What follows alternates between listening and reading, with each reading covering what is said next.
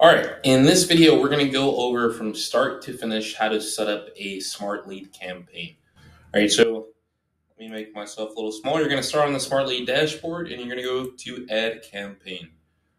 All right, so you can name your campaign whatever you like. If you have multiple campaigns, you're going to want to name it something memorable so you know what it is. So this campaign is for this client.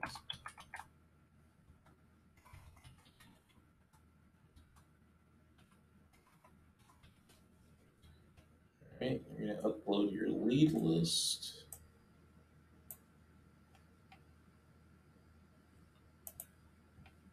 I generally always check this, and you're going to want to just leave these two unchecked because you obviously don't want to upload leads on blocked lists. And you also don't want to add an unsubscribe link to your email. You just want to tell people that they can unsubscribe. All right.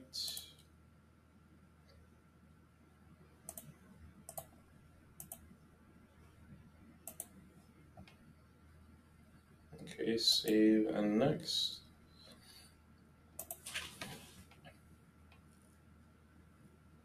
Okay, so this is going to take a second, especially because this is about I think 20,000 leads in this campaign. So we're going to pause. I'm going to pause this and I'll come back when it's done. All right, so the list just uploaded. All right, so now we're going to load in the emails. All right.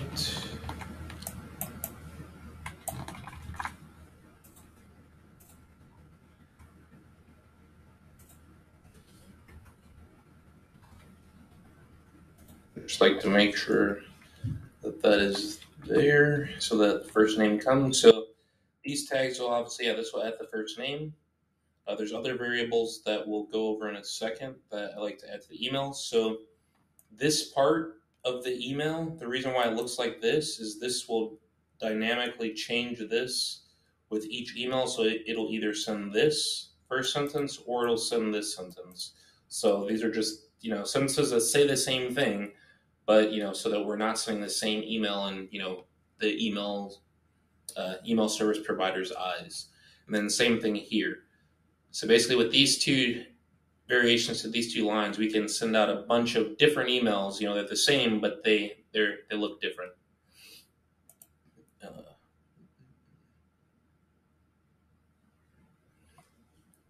and then, honestly, I'll probably also do that here.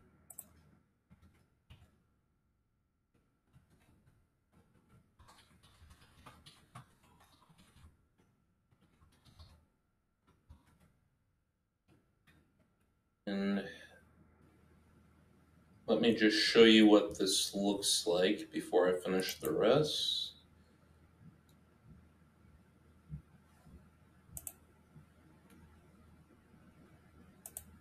I'm just to put dummy info in here right now so I can show what this looks like.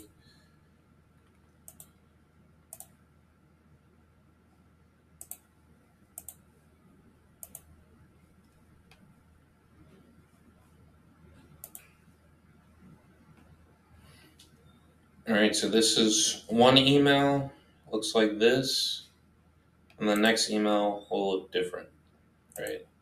So each one will have something slightly different at the bottom, etc. All right, so let's go back to it.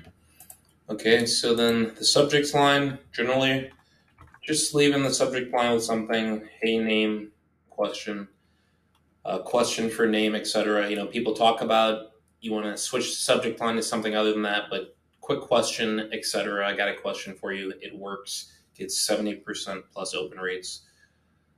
Uh, so let's just go.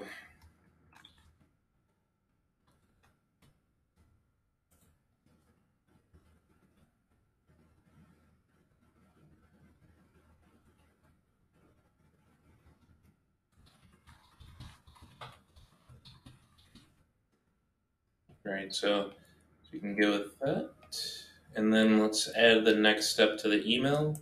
So when you add another email to the step, you want to leave the subject line blank. As it says here, leave the subject line empty if you'd like this email to be a reply, basically the same thread. So if you don't, if you add a subject line here, then this will send a new email with a totally new thread. Actually, let me pause the video and find an example so I can show you what this will look like if you do it the wrong way.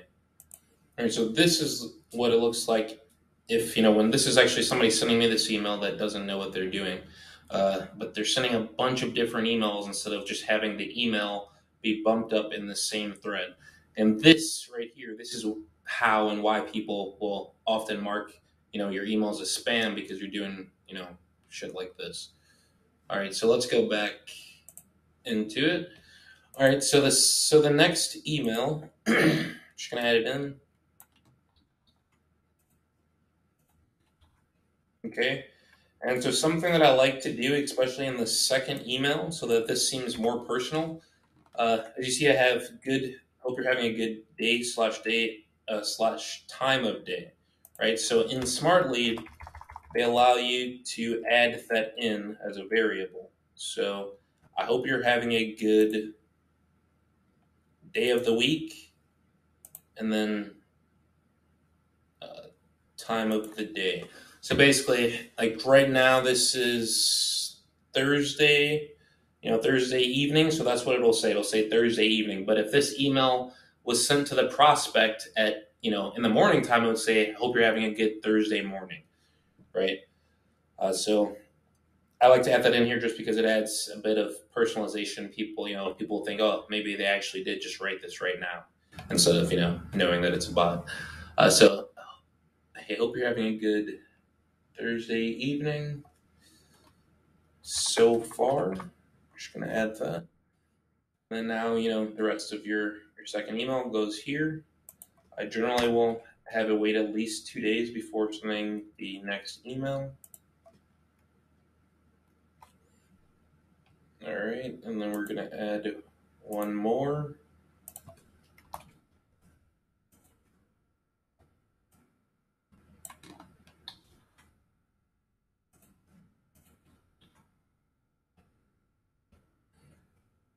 Okay, so then that'll be another two days. So all three emails are in. All of the sub of the second two subject lines are going to be left blank. All right, so let's go to the next section.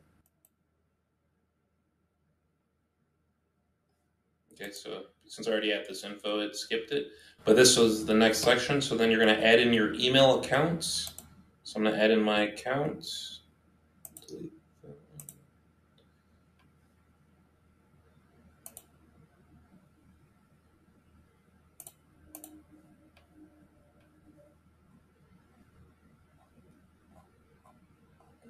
Okay.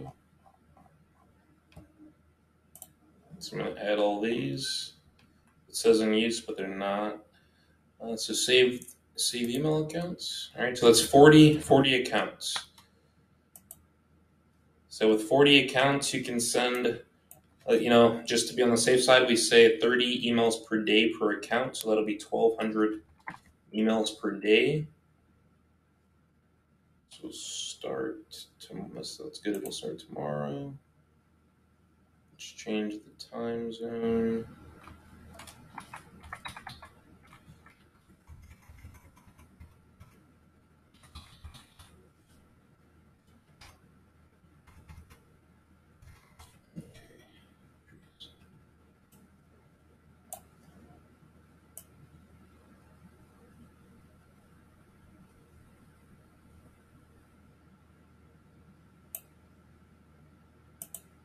We. That works. Um, generally, you want to keep this to at least, uh, you know, at least 17. Um, we're going to keep it at. We also like to send emails on Saturdays as well. Uh, you, you don't you don't have to. That's what we do. So let's go. Let's save that. So this campaign is set to start tomorrow. 1,200 leads. Next. All right. Now let's save this. Okay. So very very important is you want to you definitely want to always just look at the emails to make sure everything's good. Make sure you didn't leave anything out. Uh, make sure you, you know if you're using any of the syntax that this is correct and then you want to send a test email to yourself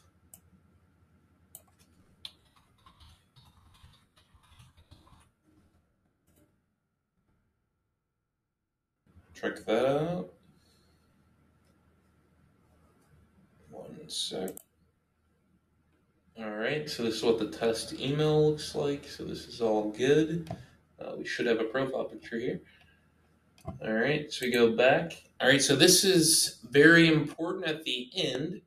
You want to go here to campaign settings before you start the campaign.